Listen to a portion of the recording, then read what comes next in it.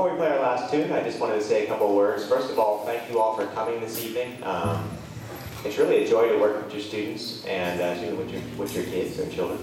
And um, it's just, it's, I have a great time working with them. They work very hard. Um, and there's a lot of talent um, sitting here up on the stage this evening and out in the audience. So thank you very much. I also want to thank the parents for their support of the music program and um, just for having your kids in music and the, for the lessons and everything else that comes in, comes with it, driving them here and there and, and so forth. Uh, I know it's a lot of work sometimes, but um, it really is beneficial. And I know they really do appreciate it. So thank you to the parents.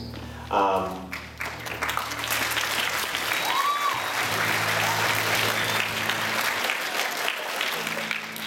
I want to also say thank you to the faculty and to the staff and the administration that's here this evening, and thank you for helping out.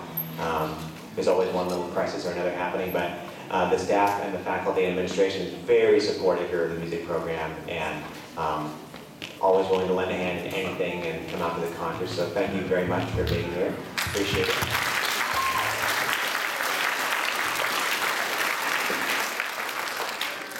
And thank you to the students as well for doing a wonderful job this evening. I know you guys work hard practicing on the music and getting all together. and sometimes stressful to get through these performances, but you did a wonderful job this evening. So one more round of applause for everybody.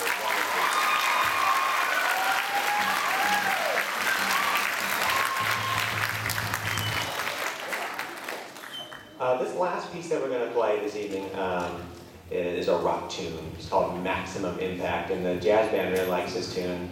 And every time we, we I call it out to be played, there's a little cheer that goes out, or a round of excitement or whatnot.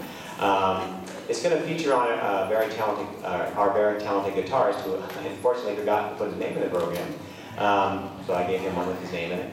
But uh, this will feature Connor Carroll on a, on a really rocking solo. So this is Maximum Impact.